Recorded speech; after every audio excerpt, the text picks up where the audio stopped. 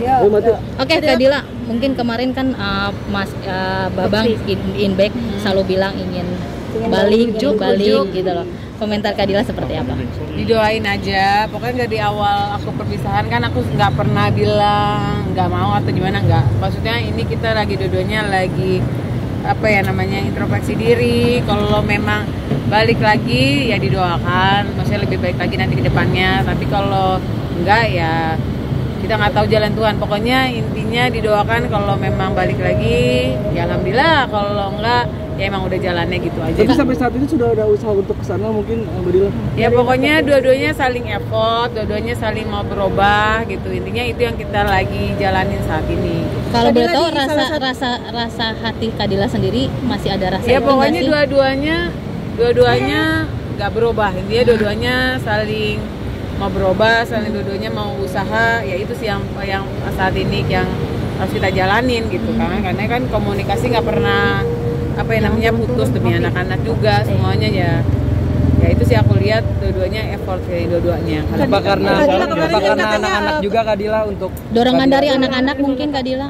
Ya anak-anak pasti semua anak-anak yang ibu bapaknya pasti bercerai kan pengennya pastinya tanpa ngomong mereka pengennya sebenarnya lengkap kan gitu ya ya aku lihat aku nggak pernah menanyakan hal yang serius sama anak-anak karena aku nggak mau apa namanya pemikiran dia oh berat banget nih gitu buat aku jadi ya intinya aku selalu menanyakan mereka kalau habis ketemu kita apa gimana happy ya mau ketemu nggak sama ayah mau ketemu nggak begini aku nanya boleh gitu aku nggak pernah mau memaksakan mereka Berarti gitu, tidak ada tanya. pembatasan waktu, pembagian Oh, waktu ada. sama Alhamdulillah anak-anak. ini juga liburan panjang ini kadang kalau Mas Bekti habis kerja bentar makan bareng udah gitu ketemu masih banyak kok waktu itu sama Mas Indra gitu. Mas, Mas Indra katanya sering banget datang ke rumah juga ya Kak Dila? Mungkin bisa. Nah, ke rumahku Oh, ah. enggak Karena- kita ketemunya di luar. Oh selalu di luar. Nggak- karena kan ya nggak boleh kan maksudnya kita kan udah cerai juga kan jadi nggak ketemunya nggak nggak di dalam rumah gitu. Nah untuk rujuk sendiri ada syarat khusus nggak sih kan? apa? Kalaupun misalnya itu kembali kebahagiaan itu datang Kak, Ya pasti ada- dua-duanya. Karena kan kalau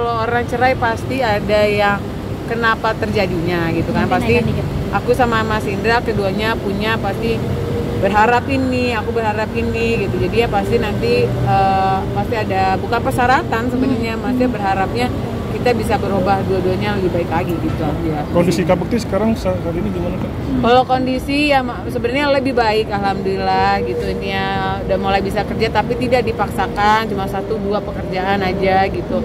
Tapi kalau kondisi untuk ingatannya sih masih sama jadi harus kita yang hari ini ayah ke mana gitu nanti itu diingat tuh dari foto dia baru ingat kalau enggak tuh aku habis dari mana ya? Terus makan aja. Eh tadi makan apa? Aku belum makan pada ditanyain ke adiknya. Udah. Mbak Dila tadi udah makan gitu gitu dia dia masih untuk daya ingat masih belum bisa 100% itu masih kecapean juga gitu gitu ya. Jadi harus dimengerti gitu Kalau boleh ya. jujur Kak Dila, kondisi Kak Dila dengan Kak Inbek sendiri lebih nyaman saat ini seperti ini atau Ya, kalau mau di ngomongnya saat ini, Saat lagi ini. saat ini, karena kan berdua-duanya berharapnya bukan untuk saat ini, tapi ke depannya bisa berubah lebih baik lagi. Gitu. Berarti saat ini untuk masih sendiri ya Kak Dila ya? Ya Atau- masih, ya masih, masa langsung dari situ ada lagi ya nggak juga. Semua butuh proses juga, kalaupun nggak sama Mas Indra ya, semua butuh proses nggak cepat gitu intinya. Sosok yang seperti apa Kak Dila? Mungkin kan karena saat ini Kak Dila juga sudah punya buntut dua gitu kan ya. Kalaupun misalnya ya seandainya ada pastinya di dia luar sana, harus hmm, bisa menerima anak-anak saya dan mencintai anak-anak saya melebihi saya. Kak, kemarin kan ada tanggapan bahwa Kak Bekti sendiri nggak rela nih kalau kakak ada yang Ada yang baru gitu.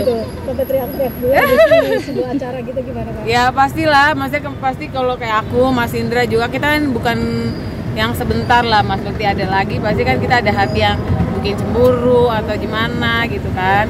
Ya tapi alhamdulillah sih sampai detik ini ya ya kalau boleh jujur emang belum ada dan Mas Indra ya juga masih belum ada ya udah intinya dijalanin aja. yang sekarang di jalan dulu ya. Oke, makasih Kak